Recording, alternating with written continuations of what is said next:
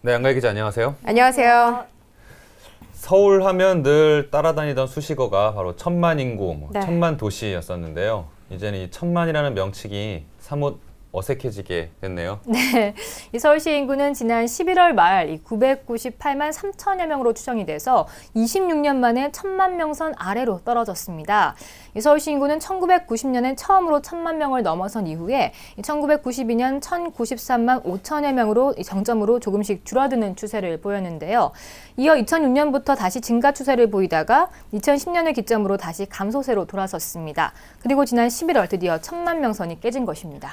네, 서울의 일자리가 타 지역에 비해서 확 줄어든 것도 아닌데요. 왜 이렇게 인구가 감소하게 될 걸까요? 네, 전문가들은 최근 몇 년 동안 이어진 극심한 전세난을 그 이유로 들고 있습니다. 네. 서울의 세입자들이 전세난을 이기지 못하고 인접 지역인 경기와 인천 같은 이 수도권으로 이동, 이동하기 때문인데요. 실제로 서울의 인구는 올해에만 11만 9,800여 명이 줄었습니다. 경기도의 인구는 8만여 명이 늘어나서 전국에서 가장 높은 순유입을 기록했습니다. 이 전세 금 액으로 따져보면 더 쉽게 체감을 할 수가 있는데요. 네. 2016년에 서울 아파트 전세 거주자가 2년 기준에 재계약을 하기 위해서는 이 전국 평균의 두 배가 넘는 금액이 필요하다고 하는데요. 금액은 바로 약 7,800여만 원으로 이 서민들에게는 적지 않은 부담이 될 수 있는 금액입니다. 그러네요. 이 전세난이 이렇게 지속이 될 경우에는 서울의 인구 유출 현상이 당분간 피하기 어려워 보입니다. 네. 네, 한 해에 빠져나간 인원이 11만 명, 굉장하죠. 한 달에 만 명씩이면요. 네. 어, 하루에 300명씩입니다. 그렇습니다. 결코 적은 숫자가 아닌데요. 어, 무엇보다 서울시의 전세난이 이렇게 인구를 줄어들게 만드는 원인 중에 하나라고 하니까 새해에는 한풀 꺾이기를 좀 기대해 보는 수밖에 없겠습니다. 네, 다시 천만 서울이 됐으면 좋겠습니다. 다음 소식 전해드리겠습니다. 우버 택시의 버스 버전으로 주목받고 있는 콜버스에 대해서 택시 기사들의 민원이 쏟아지고 있습니다. 불법 교통수단으로 콜버스 영업을 단속해야 한다는 것이 이 택시 기사들의 주장인데요.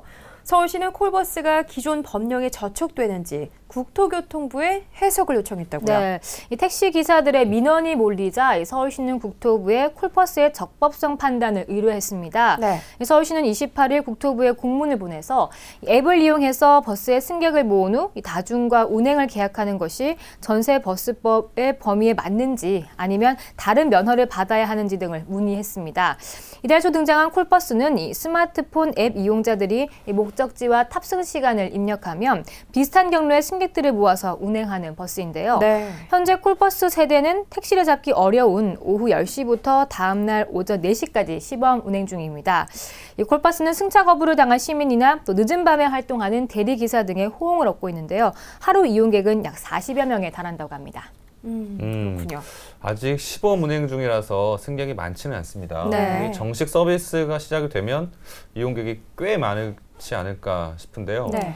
근데 그렇게 되면 택시의 손님이 좀 줄어들 것 같아요. 그렇죠. 네. 네. 그래서 콜버스는 다음 달부터 정식 서비스를 시작을 하게 되는데요. 네. 첫 4km까지는 기본 요금 2,000원 그리고 이후 1km마다 600원의 추가 요금을 받는다고 하니 택시 요금의 절반 수준입니다. 네. 따라서 정식 서비스가 시작이 된다면 이 택시가 잡기 어려운 강남역 등에서 승객이 급증할 것으로 보이는데요.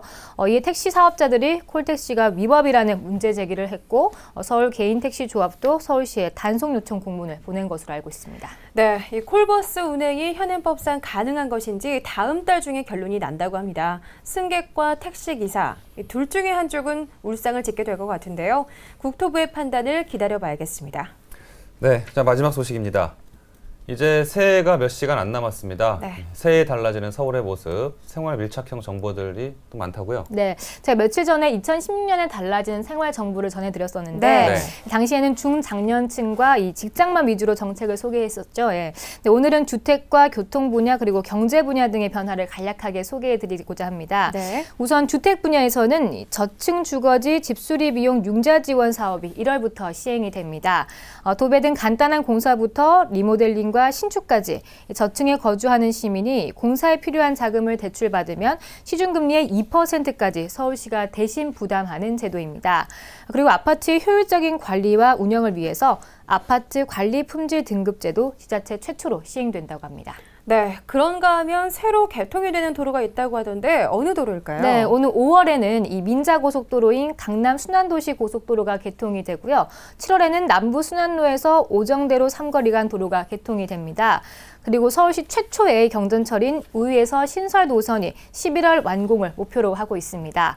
또 하나 주목할 것은 4월부터는 이 지하철역에서 보다 쉽게 휴대폰을 무료로 충전하실 수가 있다는 것인데요. 네. 이 무료 충전 서비스가 기존 24개 역에서 181개 역으로 확대됩니다. 네, 좋네요. 네. 그러네요. 그럼 경제 분야에서는 어떤 변화가 있나요? 네, 2월부터는 그 노란 우산 공제 신규 가입 장려금이 지원이 되는데요. 네. 이 노란 우산 공제는 이 별도의 퇴직금이 없이 노가 불안정한 이 소기업과 소상공인들의 생활 안정과 이들의 사업 재기를 위해서 중소기업 중앙회가 지난 2007년부터 운영을 시작한 제도입니다.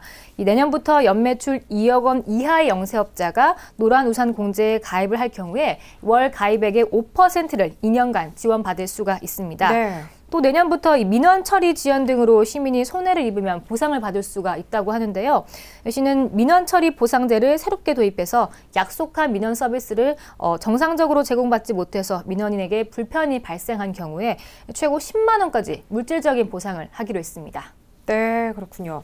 시민들이 민원을 신청하고 또 이것을 처리하다 보면 그 과정에서 불만을 갖게 되는 경우가 종종 있기도 합니다. 네. 자, 이러한 불만 해소에 앞장섰다는 점에서 시민들이 체감할 수 있는 정책이 아닌가 싶습니다. 네, 이 다가오는 새해 다양한 변화들을 통해서 보다 많은 시민들이 더욱 살기 좋은 한 해가 됐으면 좋겠습니다.